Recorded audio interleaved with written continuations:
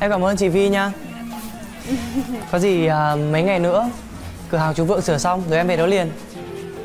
Ừ Chị nghĩ là cũng phải hai ba ngày đó. Dạ. Em cứ ở tạm đây đi. Nhưng mà chị nói nè Nhà toàn con gái không mà Cái gì cũng phải chú ý cẩn thận nghe chưa? Dạ em nhớ rồi ạ. Ừ. Thôi à, mấy đứa nhà chơi nha.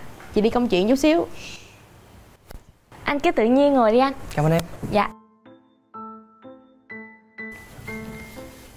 Hay không anh? Em thích cái này lắm á. Tốt quá. Đi coi. Ồ, Vi Thi? Ủa? Ủa anh Thành? Ừ, Anh qua đây chơi hả? Ừm, mấy bữa nay à, cửa hàng nhà chú Vượng đang sửa Nên là anh qua đây ở tạm vài ngày. Mà em mới đi đâu về mà bê cái gì nặng này?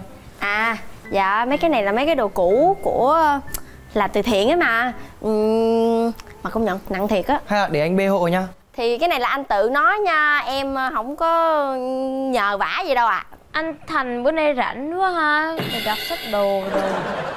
Ừ Thì người ta là người ngoài đó Mà người ta còn biết vô người ta phụ Người ta xách giùm. Mang danh tính là chị em họ đồ. Ngồi ở đó Xỉa sói đồ. Ừ, Nói chung là em cảm ơn anh Thành nhiều nha. Không có anh chắc thì mệt đuối luôn á. Không sao, cái này cũng nhẹ mà Có gì anh phân loại luôn cho. Mà em cần gì cứ nhờ anh. Bữa nay anh rảnh. Ừ. Trời ơi không sao đâu. Tí xíu nữa em đem mấy này qua nhà bạn. Ờ, Chắc ờ, không cần anh đâu. Anh có bận gì thì anh làm đi ha. Anh ơi người ta nó không cần kìa. Em cần Anh đi giúp em đi anh. Ê, ê, ê. Ừ. Ủa Thì nói vậy thôi giúp cái không được hả trời? Cái con nhỏ đạo đạo đáng ghét này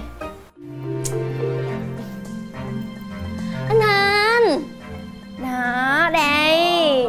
Cái này người ta gọi là um, mì xào hai trứng. Anh ăn thử đi Em tự làm á. Ừm, cái này là để cảm ơn hồi nãy anh xách đồ phụ em á. Tuy là một hành động nhỏ thôi nhưng mà em sẽ mãi nhớ. Phải là do mì bà tự nấu không vậy? Hay là order ở trên mạng cho người ta ship tới Xong rồi xớt qua cái dĩa xong đưa cho anh Thành ăn? Ê cái này là tôi tự nấu thiệt đó nha. Tôi không tin đó là sao? Check camera đi Thôi thôi thôi thôi thôi thôi. Thôi. Ai nấu cũng được hết á. Nhưng mà Đồ ăn đặt xuống từ tay Việt Thi Cỡ nào anh cũng ăn. Trời, trời, trời Anh nói vậy là sao? Ý anh là anh chỉ ăn đồ ăn trên tay của Việt Thi mà không ăn đồ ăn trên tay của em chứ gì? à, Không không không. Ý anh là Kể cả là đồ ăn trên tay đào đào đặt xuống Anh cũng ăn hết. Nha. Ừ. à anh đợi em tí nha. Em còn cái này cho anh nữa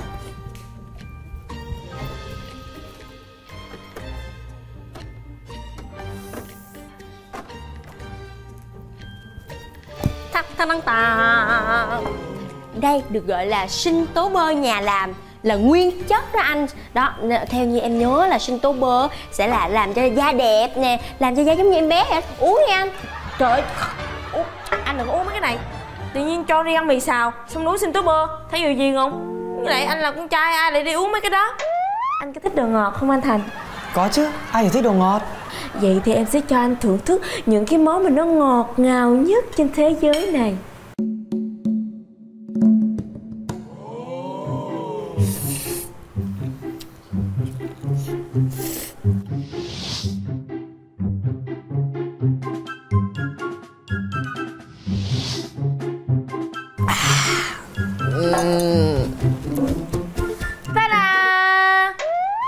Món chè ngọt ngon nổi tiếng luôn á. Đây nè, để em trộn lên em đút cho anh ăn nha. Siêu ngon luôn, anh mà không ăn là uổng lắm á.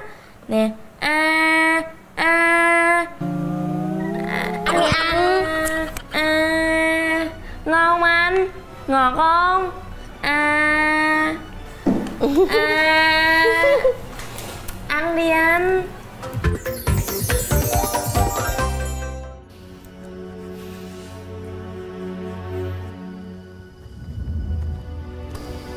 Ui. Ồ, chị Vi. Gì vậy? Sao ngồi thập thọ ở đây? Sao không vô trong? À, em muốn vô trong lắm Nhưng mà em sợ quá. Từ hôm qua đến giờ chú đã bắt em ăn đủ thứ ấy. Ăn xoài, ăn ổi, ăn đồ mặn, ăn đồ chua, ăn đồ ngọt Ăn phở, ăn mì cay cấp độ 5 Chị biết không, em đau bụng không biết phải làm thế nào nữa. Mà chưa hết đâu. Khi vừa ăn xong thì bà Việt Thi bà lăn đùng ra ốm. Thế là em phải chạy vội đi mua thuốc Rồi về đắp khăn lên mặt bà ấy. Ngồi kể chuyện vui cho bà ấy nghe Bà còn cười. Ủa thì đúng rồi con trai làm vậy là quá tốt chứ sao nữa? Tốt gì đâu Khi mà Thi nó đang ốm Thì tự dưng đào Nó lại kêu nó buồn. Thế là em lại phải ngồi tâm sự về nó Và trong lúc đấy Thì chú Vượng gọi điện cháy máy Đòi đuổi việc em. Sung sướng gì đâu ạ? Được con gái thích cũng Hả? Ai thích ạ? Thì trời đất ơi em lớn vậy rồi con gái thích mình mà không biết hả? Chị đừng dọa em nha. Chị có dọa gì đâu mà chị nói nghe nè chị có cách này bày cho em.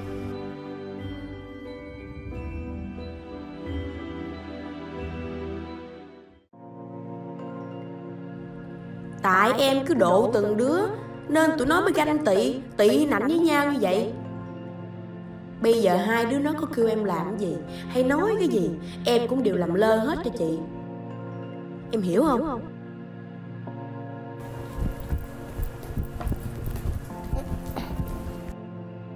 Anh Thành um, Vợ mới về hả? Hay anh có muốn đi mua đĩa chung với em không? Không Tôi không đi đâu Đi với ai đi đi Không đi thì thôi Làm gì căng vậy? Cọc tính dễ sợ. À Có người bị từ chối kìa Quê một cục. Anh Thành á Chỉ thích nhạc Âu Mỹ thôi. Anh Thành Em có biết một chỗ bán album Justin Bieber hay lắm á? Anh đi không? Lại cả cô nữa. Cô có biết ý là từ nhỏ tới giờ Tôi ghét nhất là nhạc Âu Mỹ không? Không có việc gì làm Rảnh Ở nhà đi Ra đường làm chi cho đen ra. Em cũng chỉ muốn rủ anh đi thôi mà. Em có ý gì đâu mà anh xúc phạm em bây giờ Tôi chỉ muốn được yên tĩnh thôi. Hai người để tôi yên đi. Tôi đâu phải là gấu của hai người Mà tranh giành tôi Giành giật tôi thế. Cái anh này. Ảo tưởng dã man á chứ. Cái gì mà vô duyên cái vậy trời? Tự nhiên tôi chỉ muốn mua đĩa Để trả ơn cái vụ hôm bữa anh xách đồ cho tôi thôi mà. Tôi cũng vậy nè. Tại vì tôi muốn cảm ơn ảnh hôm bữa đã giúp đỡ tôi Chứa chấp tôi Chăm sóc cho tôi ở công viên chứ bộ. Làm cái gì mà gấu Rồi bồ bịch ở đây. Rồi ảo tưởng. Đừng có mơ nha Tụi mình bị xúc phạm như vậy? Không lẽ không trả thù hả? Ừ tôi nghĩ cái ý này hay á. Bây giờ hả Ổng không độ được tụi mình Thì hai đứa mình độ nhau. Ừ, Hợp tác vui vẻ.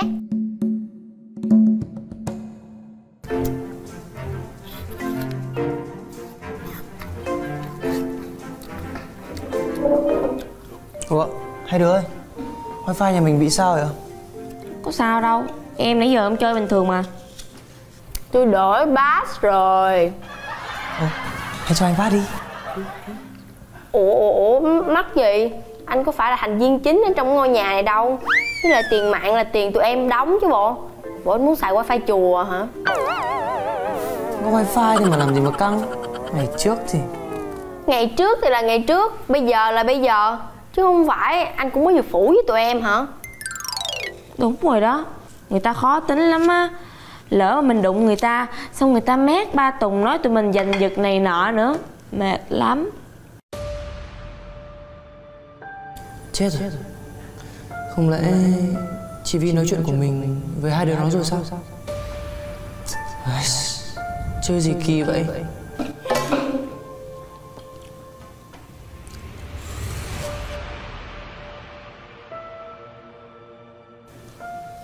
Trời ơi đó mà cũng quên nữa. Chú Vượng. Bắt máy không? Thôi, điện thoại của ổng mà Ổng làm gì ổng làm để đi. Kệ đi. Ăn đi.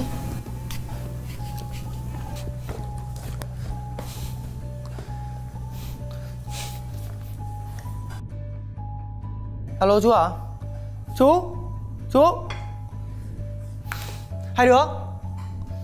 Sao hai đứa biết là chú Vượng gọi Mà không nói gì cho anh Hả? Bên đoàn sửa chữa Quay kiểm tra ống ga. Suýt nữa thì nổ quán rồi đấy. Chết rồi. May mà chú Vượng về kịp Không phải chết cả lũ rồi. Hai đứa làm vậy có quá đáng quá không? Anh ở nhờ đây có vài ngày thôi. Mà thôi Đằng nào thì quán chú Vượng cũng sửa xong rồi. Giờ anh về đó Cho hai đứa vừa lòng. Anh Thành Tôi thấy Cô bồ tụi mình quá đáng lắm rồi đó. Chứ gì nữa. Rồi chắc phải chạy theo xin lỗi thôi chứ biết làm sao đây. Thôi đi. Đi liền đi đừng ăn nữa. Anh Thành! Anh Thành Thành ơi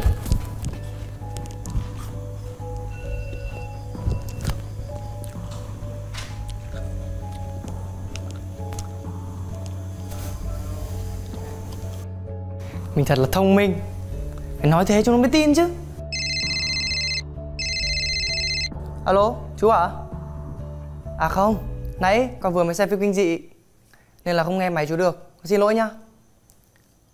À vâng vâng, rồi con về quán này. Vâng ạ, vâng. Con về liền nhá, chào chú.